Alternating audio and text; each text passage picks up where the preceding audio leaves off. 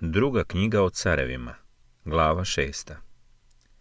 A sinovi proročki rekoše Jelisiju, gle mesto gde sedimo pred tobom tesno nam je.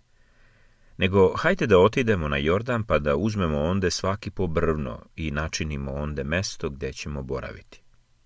A on reče, idite. A jedan reče, budi voljan, pođi i ti sa slugama svojim. A on reče, hoću. I tako pođi s njima. I došavši na Jordan, sekoše drva. A kad jedan od njih secijaše drvo, pade mu sekira u vodu. A on povika govoreći, avaj gospodaru, još je u naruč uzeta. A čovek Boži reče mu, gde je pala? A kad mu pokaza mesto, on oceče drvo i baci ga onamo. I učini, te sekira ispliva. A on reče, uzmi je. I čovek pruži ruku, te je uze. A kad car sirski vojevaše na Izraelja, vijećeše sa slugama svojim i reče, tu i tu neka stane vojska moja. A čovjek Boži poslak caru Izraeljevu i poruči, čuvaj se da ne ideš onuda, jer su onde sjerci u zasedi. I car Izraeljev posla na ono mesto za koje reče čovjek Boži i opomenu ga, te se čuvaše. I to ne bi jedan put, ni dva put. I smuti se srce caru Sirskom, zato i sazvavši sluge svoje reče im, hoćete li mi kazati ko od naših dokazuje caru Izraeljevu?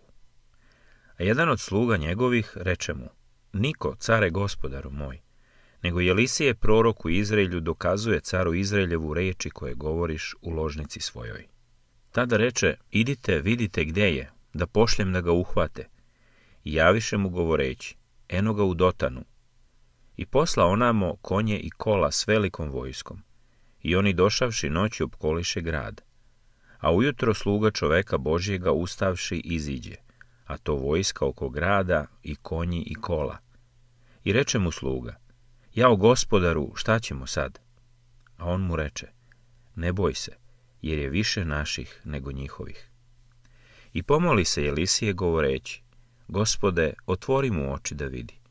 I gospod otvori oči momku te vide, a to gora puna konja i kola ognjenih oko Jelisija. A kad pođoše sirci k njemu, pomoli se Jelisije gospodu i reče, oslepi ovaj narod i oslepi ih po reči Jelisijevoj. Tada im reče Jelisije, nije ovo put, nije ovo grad, hodite za mnom i odvešću vas čoveku kojega tražite. I odvede ih u Samariju. A kada dođeše u Samariju, reče Jelisije, gospode, otvori im oči da vide. I gospod im otvori oči. I videše, a to bijahu usred Samarije. A car Izraeljev reče Jelisiju kad ih ugleda, hoću li biti, hoću li biti, oče moj? A on reče, nemoj biti, e da li ćeš one pobiti koje zarobiš mačem svojim i lukom svojim? Iznesi im hleba i vode, neka jedu i piju, pa onda neka idu gospodaru svojemu. I ugotovi im gozbu veliku, te jedoše i piše, pa ih otpusti, a oni otidoše gospodaru svojemu i od tada ne dolaziše čete sirske u zemlju Izraeljevu. A posle toga Ven Adad, car sirski, skupi svu vojsku i iziđe i opkoli Samariju. I nasta velika glad u Samariji. Jer gle beše opkoljena toliko da glava magareća bijaše za osamdeset sikala srebra, a četvrt kala golubinjega kala za pet sikala srebra. I kad car iđaše po zidovima, jedna žena povika k njemu govoreći, pomagaj care gospodaru. A on reče, gospod ti ne pomaže, kako ću ti ja pomoći, zgumnali ili iz kace? Još i reče car, što ti je? A ona reče, ova žena reče mi, daj sina svojega da ga pojedemo danas, a sutra ćemo pojesti moga sina. Iskuha smo sina mojega i pojedo smo ga, a sutradan rekoh joj, daj sina svojega da ga pojedemo ali ona sakri svoga sina. A kad car ču reči ženine, razdre haljine svoje, i kad iđaše po zidu, vide narod gde kostrat bijaše ozdo na telu njegovu.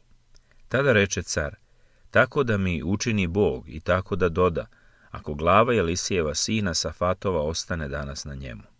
A Jelisije seđaše u svojoj kući i starešine seđahu kod njega. I posla car jednoga od onih što stajahu pred njim. A dok još ne dođe poslanik njemu, on reče starešinama, vidite li gdje onaj krvnički sin posla da mi oceku glavu? Gledajte kad dođe poslani, zaključajte vrata i odbite ga od vrata. Eto i bahat nogu gospodara njegova za njim. I dok još govoraše s njima, gle poslani dođe k njemu i reče, gle ovo je zlo od gospoda, čemu ću se još nadati od gospoda.